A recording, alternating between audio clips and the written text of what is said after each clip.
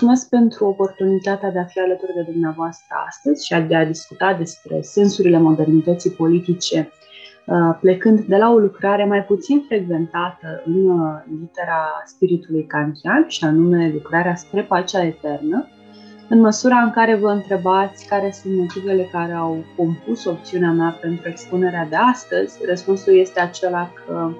de foarte multe ori, teoriile contractului social, așa cum sunt ele abordate în literatura de specialitate astăzi, neglijează contribuția kantiană care este preponderent crescută în orizontul metafizicii, în orizontul epistemologiei și în orizontul morale. Tocmai de aceea cred că este relevant ca proiectul moral al lui Immanuel Kant să nu fie de niciun fel izolat de ceea ce înseamnă aplicațiile acestui tip de filozofie în orizontul politicii și este adevărat că o zonă mai puțin acceptată din acest punct de vedere este uh, perspectiva asupra căreia Immanuel Kant poate fi receptat ca atare ca un filozof politic. Uh, sigur că aici nu discutăm despre vanitățile acestor interpretări care își păstrează dimensiunea concurențială și despre felul în care uh, proiectul criticist până la urmă, așa cum îl cunoaștem, uh, pleacă de la ipoteza Revoluției Copernicane aplicată în orizontul filozofiei, pentru ca filozofia să redevină regina tuturor științelor și se extinde treptat în orizontul metafizicii, al epistemologiei și al esteticii, după cum uh,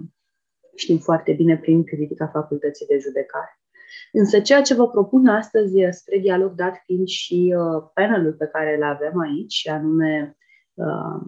o secțiune dedicată raportului dintre utopii și distopii în modernitate, este o evaluare a ceea ce înseamnă proiectul uh, politic kantian, o nouă formulă a contractului social, care, deși știm foarte bine că este uh, aplicabilă uh, pentru un anumit timp și pentru o anumită epocă, sigur că uh, idealitatea păcii pe care o poate provoca, uh, drept consecință imediată a interacțiunilor normative dintre oameni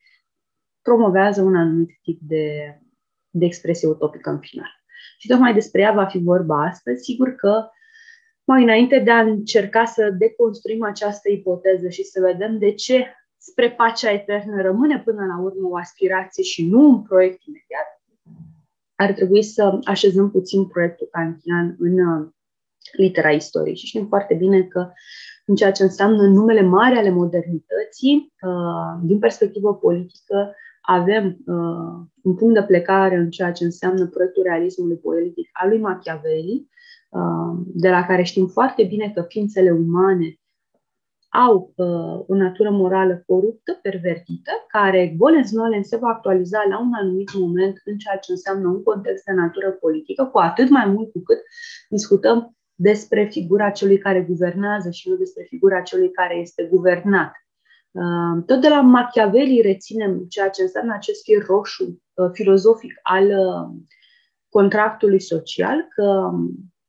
ceea ce guvernează realismul politic este nu doar această ipoteză a naturii morale pervertite, dar și implicația imediată și anume aceea că această natură trebuie să facă față vicisitudinilor istoriei care sunt de natură impredictibilă, motiv pentru care în istoria în sens lat este rezultatul misiunii dintre necesități istorice și contingențe istorice. Uh, ceea ce ține de uh, evenimentele necesare care pot surveni în viața unui guvernator Um, își găsește rezoluția în problema virtuții. Da? Un guvernator virtuos, un guvernator bine pregătit, știe cum să gestioneze acest capital de necesitate istorică. Unde apar problemele la nivelul contingențelor. Ori din acest punct de vedere, observăm potrivit lui Machiavelli faptul că uh, fortuna, uh, soarta, acest uh, mănunchi de elemente impredictibile, uh, trebuie la rândul lor uh, la rândul ei stăpânită și evenimentele la rândul lor stăpânite și integrate într-o logică a guvernării și tocmai de aceea uh, expresia bunului guvernator este a celui care știe nu doar să obțină puterea, dar și să o conserve și să o extindă, promovând virtutea ca, ca resort pentru tot ceea ce înseamnă uh, combaterea acestor elemente impredictibile. Plecând de aici, avem două mari tradiții ale contractului social care pleacă de la premisa că natura morală individuală este cea care dă tonul guvernării. Una este linia negativă, pesimistă de natură fuxiană, potrivit căreia oamenii uh, sunt trăi de la natură și ori de câte ori sunt supuși unui context de raritate a resurselor lor, deci unei competiții naturale, uh, vor recurge la toate mijloacele pentru a-și conserva viața, uh, inclusiv la ceea ce înseamnă violență. Și uh, celălalt versant al teoriilor uh, contractului social, unul mai optimist care dă naștere liberalismului de mai târziu, și anume uh, versantul lochean, um, care citește cu semn schimbat toate valorile pe care Thomas Hobbes le infuzează la nivelul stării naturale. Noi suntem ființe egale, libere, fericite, um,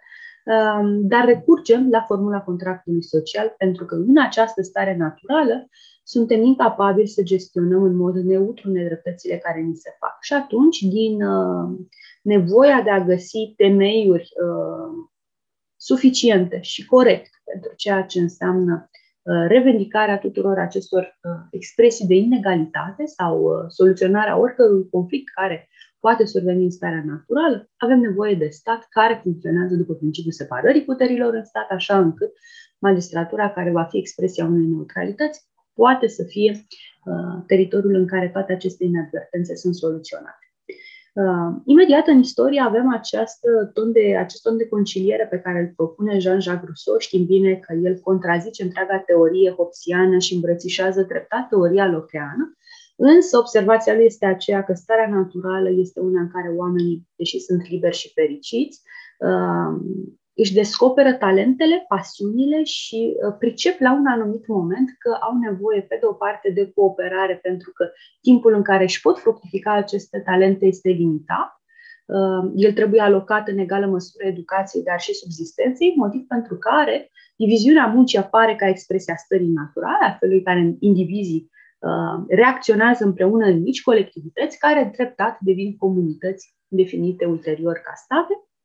așa încât uh, contractul social este expresia unei voințe generale în care fiecare, asociindu-se cu celălalt, își păstrează libertatea și integralitatea, dar în același timp se resimte ca parte a unui întreg. Ce este important de observat, totuși, este că, din perspectiva lui Jean-Jacques Rousseau, uh,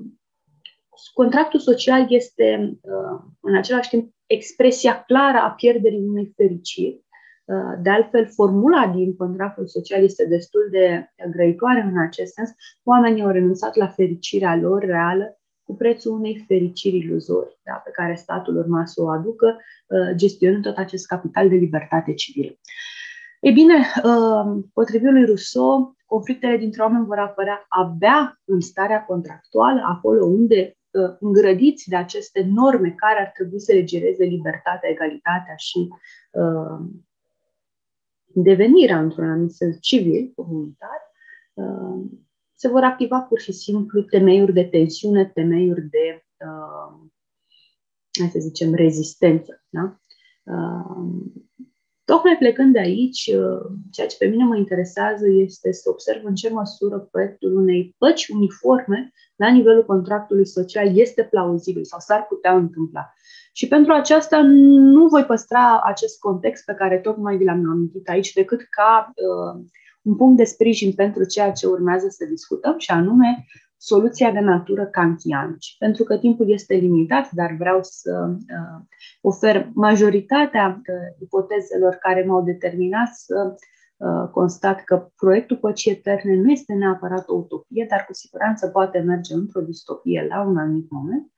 Uh, voi trece puțin prin ceea ce înseamnă uh, punctele principale ale acestui proiect. În primul rând, uh, proiectul spre pacea eternă este o lucrare în care ipotezele de tip Hobbesian, Lochean, sunt topite într-un anumit sens în filozofia kantiană. Deci este o reevaluare a tradiției contractului social anterior Formula de redactare însă este aceea unui tratat, amintește foarte mult de structura realismului politic pe care principiile lui Machiavelli o inspiră. Uh, știm din capitolul 1, uh, care cuprinde articole preliminare în vederea unei păci eterne între state, că niciun tratat de pace nu trebuie validat ca atare dacă a fost încheiat sub rezervă tacită. Adică dacă păstrează uh, substanța unui viitor război. Uh, pentru că, uh, într-un anumit sens, întreaga filozofie politică de natură kantiană se zbate între două valori, ospitalitate și ostilitate. Și vom vedea că dacă uh, formula păcii presupune ospitalitate, implicația este aceea a suspendării oricărei ostilități. Problema kantiană este însă una mai sensibilă. Uh, nu tratatele de pace, ci armistițiile sunt expresia uh, formulelor de suspendare a ostilităților. O pace înseamnă încetarea nu a unui tip de ostilitate, ci a tuturor ostilităților, adică o universalizare pentru care uh, alăturarea adjectivului etern este un pleonaz suspect, o spune chiar Kant. Așa încât, uh, prin ceea ce înseamnă expresia unui tratat de pace, noi eliminăm uh, ipotezele sau sursele unui război potențial, uh, chiar dacă ele sunt uh, uh, cunoscute parțial sau poate chiar necunoscute încă în ordine istorică părților contractante. În mod evident, clauza păcii este un fel de rezervație mentalis la care recurgem și înțelegem că ea trebuie să genereze o situație de natură favorabilă. Favorabilă pentru toți cei care sunt semnatari ai unui asemenea tip de contract, adică a unui asemenea tip de tratat de pace. Uh, sigur că acest tip de reacție începe să personalizeze foarte mult politicul, în sensul în care statul uh, este testat din perspectiva perspicacității sale și a demnității pe care o are. Este un gest de onoare să recurgi la pace și, într-un anumit sens, vedem cum această uh, persoană morală și juridică uh, complexă, după cum ar fi spus Pufendor, și anume statul, începe să fie la cant expresia unei uh, personalizări progresive a ceea ce înseamnă relațiile dintre cetățeni la nivel individual. Um, sigur că um, există o atenție a lui Kant către ceea ce înseamnă securizarea independenței unui stat independent de mărimea lui, și astfel uh, el evaluează forme de succesiune, schimb, vânzare sau donație, pentru care noi nu avem acum timpul uh, de a-l discuta și de a vedea în ce măsură toate aceste elemente și de azi expresia unei idei, uh, un contract original fără de care niciun drept asupra unui popor nu poate fi gândit în extens. Este relevantă totuși din perspectiva celui de-al doilea punct al capitolului 1 observația că evaluând posibilele raporturi contractuale ale unui stat, Kant introduce tema patrimoniului. Spune foarte clar că un stat care nu este ca solul pe care se află uh, e ceva de tipul unei avuții, un fel de patrimoniu. Statul e o societate de oameni, care niciun altul decât el însuși nu îi poruncește și nu dispune. Uh, și sigur că important este în ce măsură uh, expresia statului este doar o prelungire a expresiei monopolului de putere asupra unei proprietăți de tip pământ, uh, de tipul uh, resurse terțe uh, și toate aceste elemente tangibile devin în final corelate cu elemente de natură intangibile. Ceea ce mă interesează însă este articolul sau punctul 3 de fapt din capitolul 1, potrivit căruia Kant susține că armatele regulate, celebrele miles perpetus, cu timpul ar trebui desfințate complet. Uh, și ne întrebăm, iată, astăzi, uh, în epoca post-Trump, în epoca în care uh, conflictele din Siria sunt atât de uh, tensionate, uh, în epoca în care Israelul și Palestina încă își dispută identitatea binațională, uh, ce se întâmplă? Uh, cum putem face așa încât acest proiect al păcii eterne, care ar presupune ca toate armatele să fie desfințate pentru ca nimeni niciodată să nu mai creadă în această cursă tacită și rece a înarmărilor, uh, să devină, să devină o realitate. Uh, și sigur că uh, noi aici discutăm pe de o parte de o tendință către agresiune, dar pe de altă parte trebuie să avem în vedere faptul că ipoteza kantiană se întemeiază pe următoarea uh, idee. Ori de câte ori există o armată, uh, există o amenințare latentă față de alte state cu război prin această cursă în armării permanente. Uh, consecințele sunt simple. Fie se sporește reciproc numărul personalului, care în anumite condiții nu cunoaște niciun fel de limită, ceea ce este una dintre uh, cauzele imediate ale generalizării fenomenului de agresiune și în anumit sens a convingerii faptului că treptat, treptat nu este niciun fel de problemă în a continua tipul ăsta de acumulare de forță fizică și forță morală la nivel politic, dar pe de altă parte, potrivit lui Kant, costurile afectate păcii sunt din acest motiv în cele din urmă mai apăsătoare decât un război de scurtă durată. Așa încât există o rațiune pentru care armatele ar trebui desfințate, spune Kant. Ele sunt pur și simplu vehicul de consum pentru un anumit tip de capital de stat. Um, putem uh, privi în perspectivă și la argumentele de natură morală. Și anume că um, a fi luat în soldă pentru a ucide sau pentru a fi ucis, ceea ce reprezintă de fapt condiția soldatului,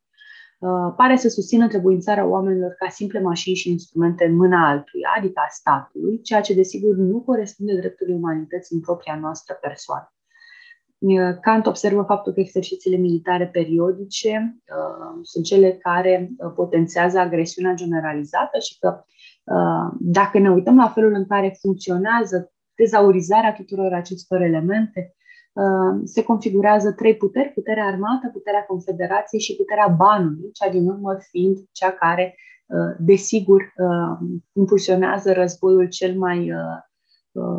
puternic și în același timp iminent.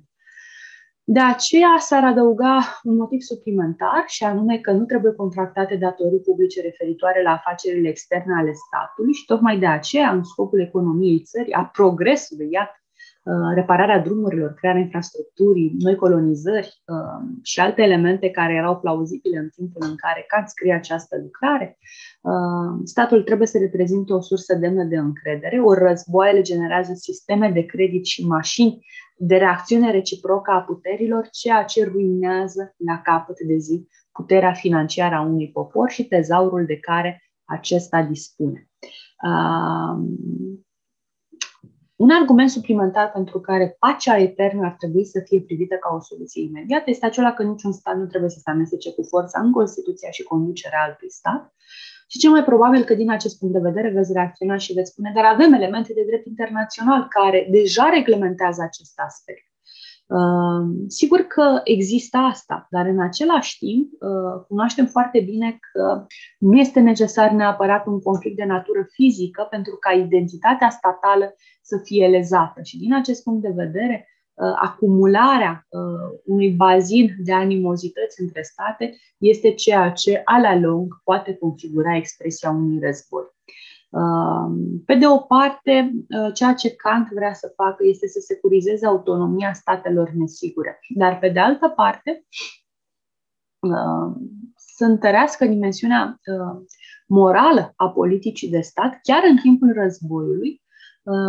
întrucât, potrivit lui Kant, și aici mă refer la uh, clauza 6 din capitolul 1, nu trebuie să se permită niciunui stat în timpul războiului ostilități față de altul care să facă imposibilă încrederea reciprocă într-o pace viitoare. De pildă, angajarea de mercenari, otrăvitori, uh, instigarea la trădare și așa mai departe. Toate acestea sunt stratageme dezonorante. Și cumva implicația este aceea că dacă ă, constați, cel puțin în teorie, că nu poți produce un război plecând de la temeiuri morale sau plecând de la atitudini morale, este cu atât mai mult să crezi, ă, e cu atât mai mult imposibil să crezi că la un anumit moment ă, consecințele acestui război vor putea fi morale. În orice caz, războiul nu este doar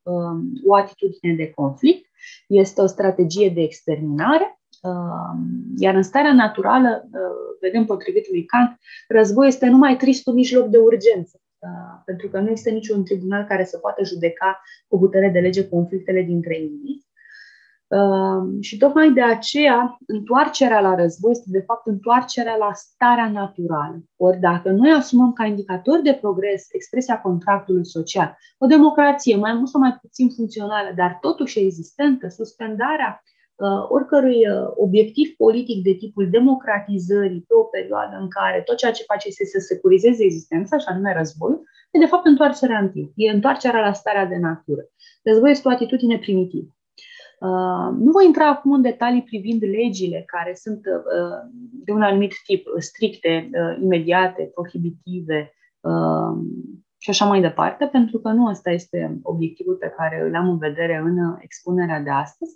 Ceea ce mă interesează este să discut în ce măsură uh, această stare de pace uh, poate sau nu să fie expresia unei realități istorice imediate. Uh, sigur că e utopic, asta ar fi prima mea observație. Este utopic să crezi că starea de pace eternă poate să existe. De aceea, tot ceea ce poți obține uh, se reduce în final la o distopie. Uh,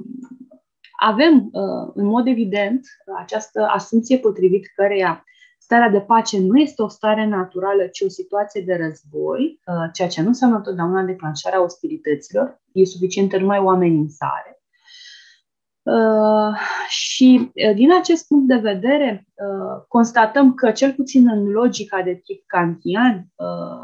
ceea ce trebuie să facem pentru a securiza pacea eternă este să obținem un fel de contract generalizat un fel de Constituție civilă care să țină statele departe de retrogradare la nivelul stării naturale, adică de o întoarcere în timp, și pe de altă parte să asigure încrederea reciprocă. Problema kantiană este aceea a cooperării, a încrederii părții. Da? De aici uh, decurge o implicație și anume că nu putem suda această încredere mutuală între state decât dacă fiecare dintre acestea prezintă același tip de contract social, adică avem același orizont de așteptare cu privire la obiectivele și consecințele imediate. Iar din punct de vedere kantian, această formulă a contractului social nu poate fi decât o constituție civilă de natură republicană. Uh, sigur, Constituția se întemeiază în primul rând pe principiile libertăților uh, indivizilor unei societăți, mai apoi pe principiile dependenței tuturor de o singură legislație comună ca supuși și, în al treilea rând, pe legea egalității acestora ca cetățeni, ceea ce ne oferă expresia Republicii. Uh, din uh, punctul acesta de vedere, este important felul în care uh, orice Constituție juridică referitoare la persoanele care există pentru ea se produce după dreptul cetățenesc al oamenilor unui popor, adică are un prim nivel sau un prim substrat genealogic de tip ius civitatis, un al doilea nivel în care dreptul internațional al statelor în relațiile lor reciproce, adică jus gentium este ceea ce sudează interacțiunea dintre comunități, și un al treilea nivel, care este cel al dreptului cosmopolit, tocmai uh, cel care face uh, utopia sau distopia aici uh, valabile, în măsura în care, uh, la acest nivel al dreptului cosmopolit, oamenii și statele care întrețin relații externe uh, sau de influențare mutuală sunt considerați ca cetățeni ai unui stat omenesc universal, un ius cosmopoliticu. Această diviziune nu este arbitrară, este necesară în raport cu ideea de pace eternă și, din acest punct de vedere, vom vedea, uh, ceea ce trebuie să facem este să gândim tipul de libertate juridică menit să uh, investească acest drept cosmopolit cu valabilitate. Uh, ceea ce Kant dezvoltă este așadar o Constituție republicană Uh, care provine din puritatea sursei conceptului de drept și care deschide perspectiva către consecința pe care noi ne dorim și anume pacea eternă. Ăsta este temeiul. Veți întreba probabil în ce măsură tipul ăsta de joc politic este posibil, în ce măsură uh, în cadrul unei Constituții în care supușii nu sunt cetățeni, uh, sigur, Constituția nu este republicană și deci este imposibil să sugerez că există un contract social generalizat de tipul acesta, câtă vreme uh, nu există același tip de așteptări și nu există același temei juridic care se supune tuturor. Uh, tocmai de aceea Kant face un pas înainte și ne uh, atrage atenția asupra faptului că suntem obligați să nu confundăm Constituția republicană cu cea democratică și că trebuie să reținem următoarele. Formele unui stat, adică ale unei societăți, care constituie dimensiunea civilă se pot diviza după diferențele dintre persoanele care dețin puterea de stat suprem. Adică după modul de conducere a poporului de către șef, există uh, o formă a stăpânirii, adică o formă a imperii, uh, și sunt posibile numai trei de acest fel, și anume autocrația, aristocrația și democrația. Uh, a doua este forma de guvernare sau forma regiminis, uh, care se referă la modul de întemeiere Uh, constituțional, actul violenței universale, prin care mulțimea devine un popor și prin care știți bine că statul își folosește omnipotența. Din acest punct de vedere, Constituția poate fi republicană sau despotică și astfel înțelegem de la Kant că republicanismul este principiul de stat al separării puterii executive, adică a guvernului, de cea legislativă. Uh, despotismul este cel al ratificării autoritare a legilor de către stat, așa încât voința publică este dată de către voința statală. Uh, și mai aflăm un lucru că între cele trei forme de stat, adică a democrației uh, în sensul propriu al cuvântului, a despotismului și a ceea ce înseamnă dimensiunile intermediare între cele două, se produc de obicei contradicții ale voinței universale față de sine și față de libertate. Uh, care este, uh, într-un anumit sens, uh, miza aici? Aceea de a vedea în ce măsură, dacă securizăm această condiție potrivit care toate statele recurg la o formă de guvernare de natură republicană, putem ulterior să sudăm Uh,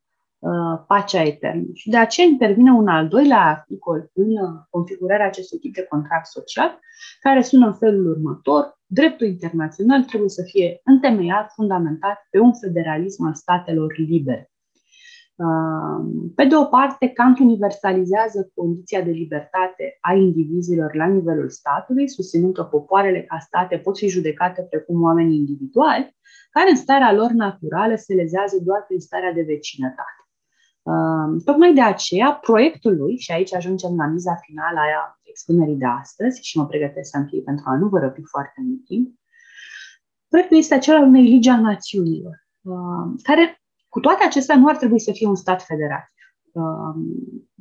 Asta s-ar afla o contradicție, mărturisește Kant, întrucât fiecare stat include relația unui superior față de un inferior, Uh,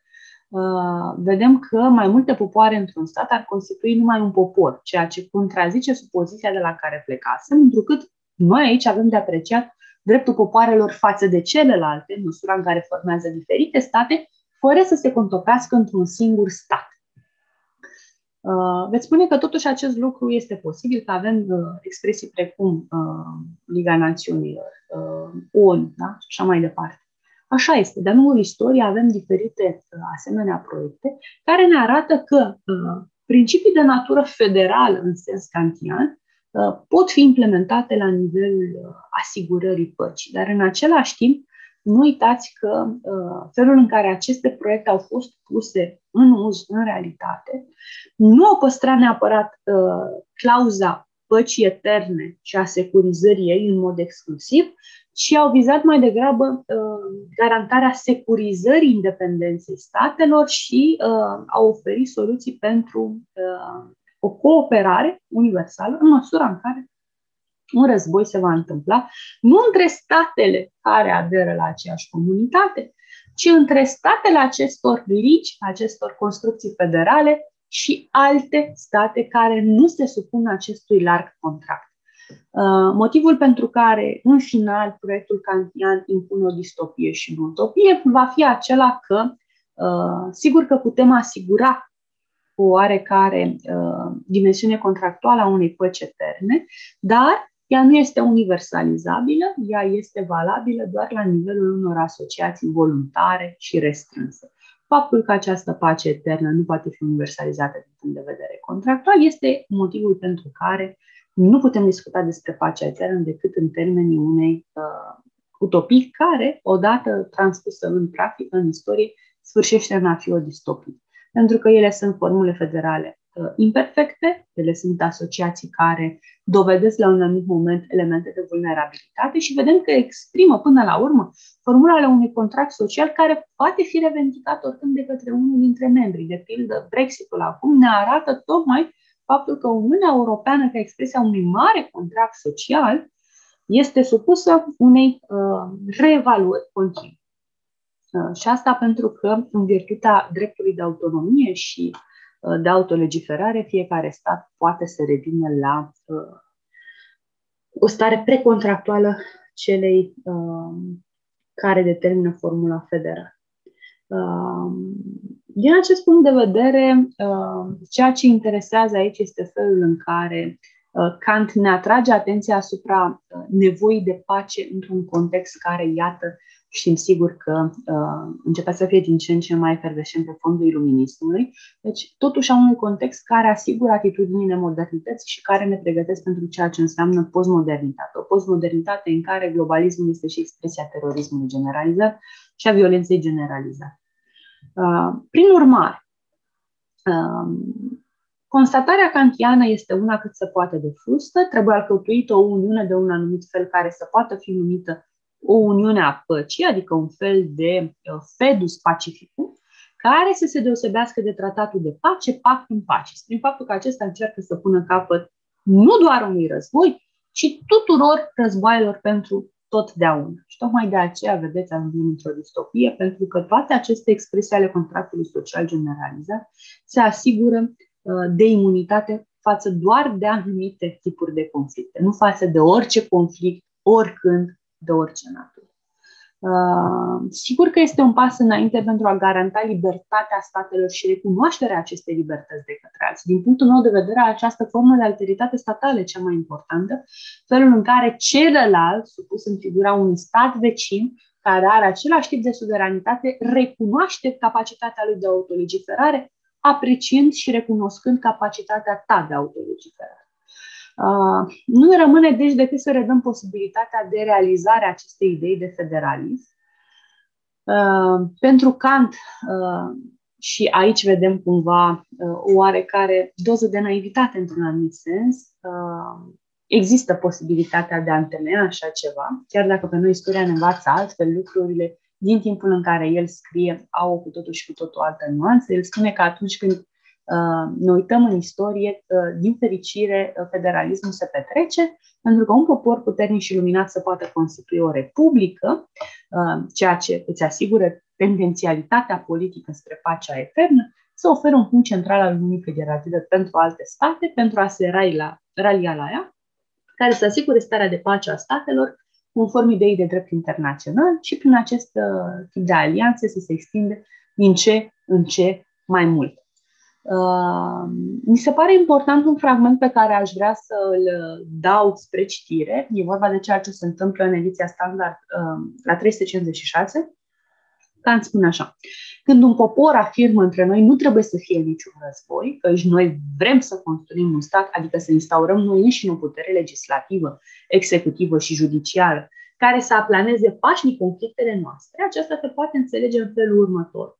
Însă atunci când acest stat afirmă între mine și alte state nu trebuie să existe niciun război, cu toate că eu nu recunosc nicio putere legislativă supremă care să garanteze dreptul meu și eu să-i garantez al său, nu se înțelege pe ce vreau să-mi întemeiesc încrederea în drepturile mele atunci când nu consider surogatul unui civil, anume a federalismului liber pe care rațiunea trebuie să o unească cu necesitate, cu conceptul de drept internațional.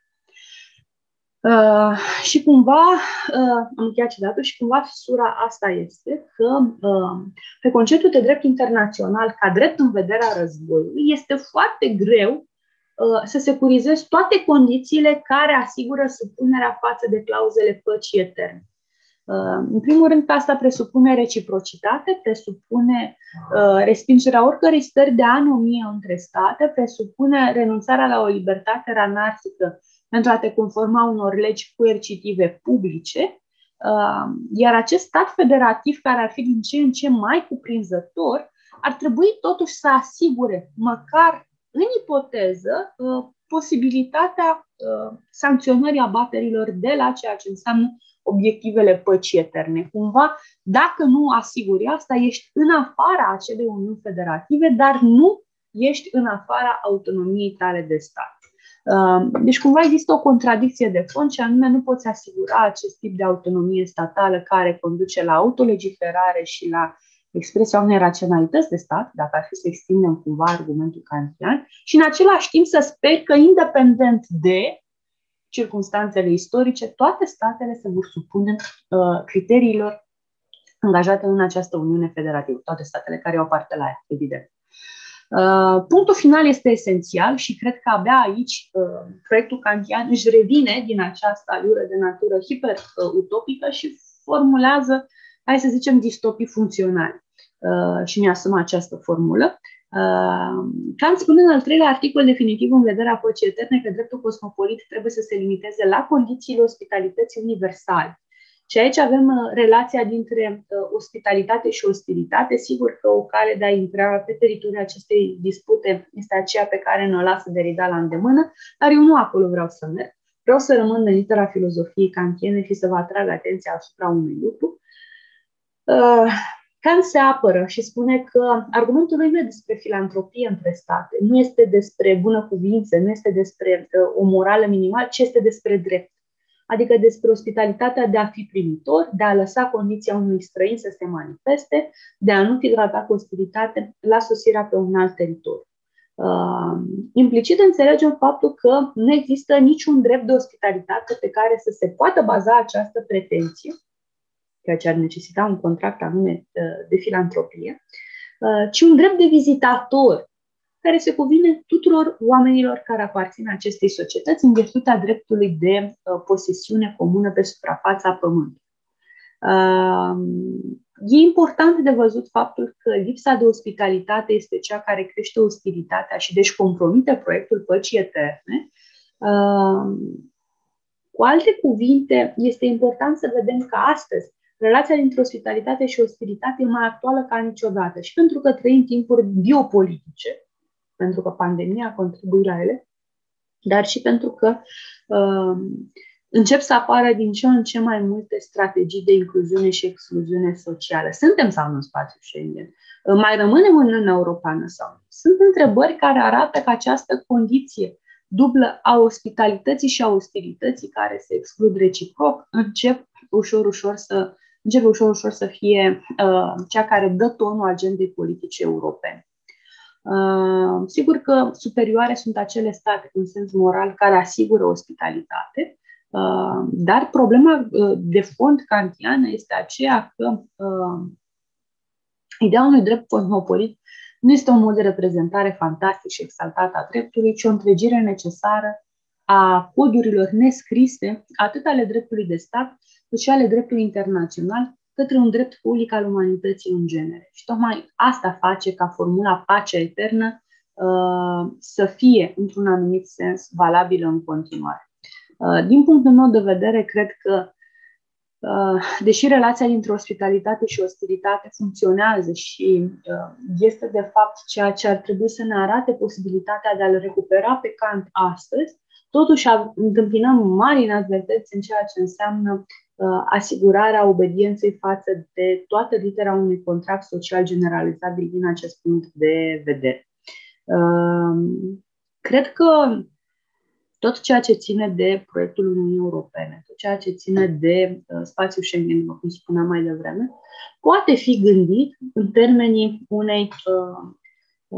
expresii federative de tip kantian, dar în același timp uitați-vă la NATO, care dincolo de capacitatea de a asigura uh, securitatea statelor, uh, compromite din start ideea unei păci eterne, pentru că tocmai în momentul în care uh, validezi mecanisme de garantare a securității statelor, validezi de fapt și de drept posibilitatea ca într-o zi securitatea lor să fie compromisă. Uh, Astea sunt uh, motive uh, pentru care uh, filozofia kantiană, filozofia politică de tip kantian ar trebui reactualizată astăzi și ar trebui vizitată cu ceva mai mult entuziasm și cu ceva mai multă atenție, nu doar de cei care se ocupă de dimensiunea juridică a dreptului internațional, dar și de acei filozofi care, cred eu, dintr-un entuziasm și o naivitate exacerbată, susțin cu ardoare proiectele globalizării. Întrebarea cât de cosmopolit și de uh, Uh, modern, progresist vrei să fii, uh, răspunsul este până unde accepti, de fapt și de drept, că toate aceste uh, formule sunt augmentări sau sunt implicații ale proiectului unei păci eterne, de fapt și de drept. Vă mulțumesc pentru atenție și sper ca întrebările dumneavoastră care vor veni acum sau în cursul acestei săptămâni să fie un punct de plecare pentru ceea ce poate fi o reflexie împreună cu privire la retematizarea condițiilor de pace ale contractului social în modernitate. Vă mulțumesc foarte mult!